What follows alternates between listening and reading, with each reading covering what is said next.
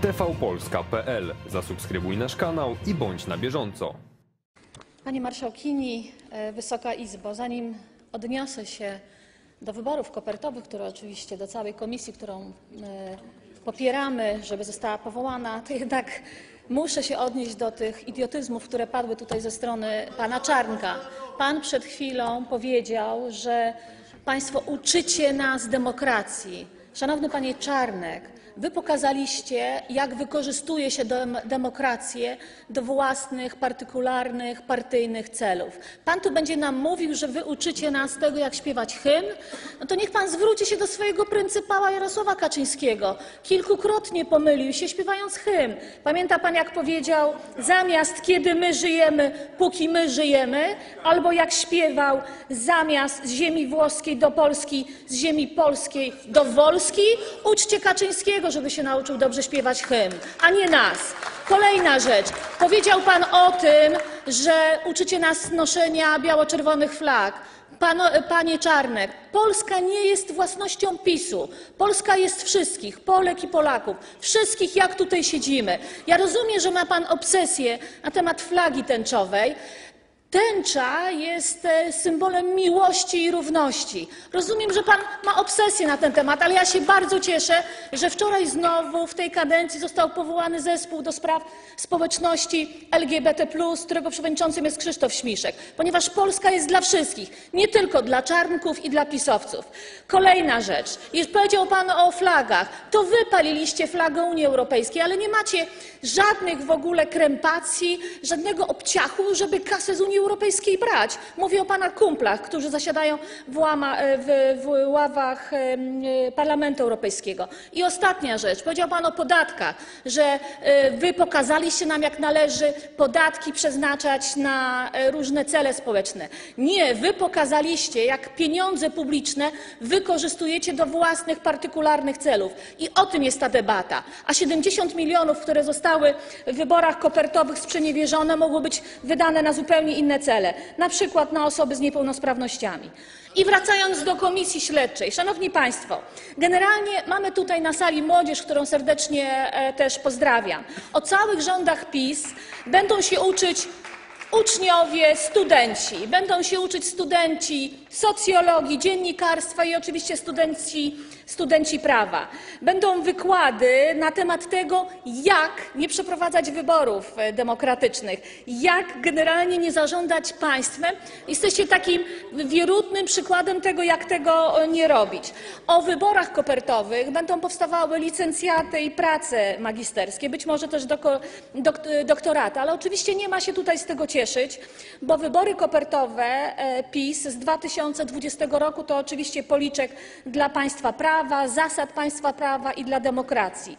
Nawet jeśli się nie odbyły, to wszystko, co się wokół całego tego procesu wydarzyło, jest jednym wielkim skandalem politycznym i obyczajowym i musi to zostać wyjaśnione i rozliczone. Każda decyzja, każdy podpis, każda osoba, która brała w tym udział.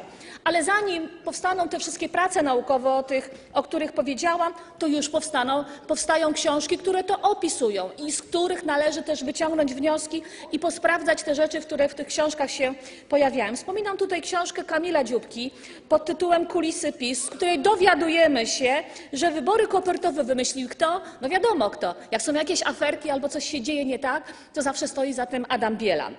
On to wymyślił, więc Adam Bielan powin, powinien być jedną z tych osób, która będzie w tej kwestii e, przesłuchiwana. Przypomnę Wam, że w tym czasie, kiedy wymyślaliście wybory kopertowe, szalała pandemia, nastroje ludzi były złe, e, ponieważ umierali ich bliskich i prezes Kaczyński bardzo się bał, że Andrzej Duda nie zostanie e, na kolejną kadencję prezydentem Polski. Adam Bielan bez żadnych analiz, w zasadzie bez niczego wymyślił, okej, to zróbmy wybory kopertowe tylko po to, żeby przepchnąć tego Dudę na kolejną e, kadencję. E, Kolejni świadkowie to oczywiście Mateusz Morawiecki, który wszystko podpisywał, i Jacek Sasin, który uważa, że, można spać, e, że może spać spokojnie, bo nic nie podpisał. Nawet jeśli nie podpisywał, to brał jednak w tym udział i komis- e, komisja śledcza musi go również prześwietlić i przesłuchać. Kolejni świadkowie to oczywiście ówczesny wicepremier Jarosław Gowin, który uczestniczył w spotkaniach na Nowogrodzkiej, gdzie omawiano wybory kopertowe, ale też wszyscy posłowie z porozumienia, których podobno przekonywano do poparcia wyborów kopertowych marchewką albo kijem. Marchewkami, jak sądzę, były stanowiska, a kijem teksty typu albo zostajesz z PiSem, albo po prostu nie żyjesz. Chciałabym, żeby te wszystkie sprawy były sprawdzone, te wszystkie rzeczy, które były, te wszystkie rzeczy, które były, które, w które uderzaliście w polityków ówczesnego e, porozumienia.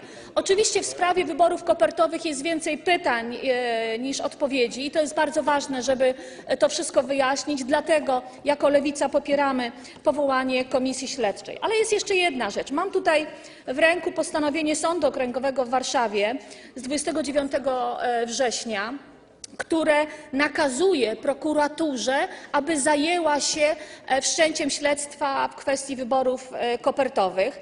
Nie wiemy, co się w tej kwestii dzieje. To jest na wniosek Ośrodka Monitorowania Zachowań Rasistowskich i Ksenofobicznych. Ale ważne jest to, co sąd nakazuje prokuraturze i na co zwraca uwagę, że powinno być to sprawdzone.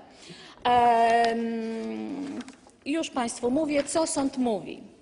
W ocenie sądu to zażalenie, które i ta prośba o to, żeby wszcząć śledztwo jest słuszne, bo czynności prokuratury, e, bo najpierw był wniosek do prokuratury, ograniczały się jedynie do uzyskania wydruków ze strony Kancelarii Sejmu albo e, z Państwowej Wytwórni Papierów e, Wartościowych. I w ocenie sądu prokuratura powinna przeprowadzić postępowanie w celu ustalenia ustalenia, czy wydanie decyzji przez prezesa Rady Ministrów poprzedziło uzyskanie opinii prawnych i ewentualnie ustalenie ich treści.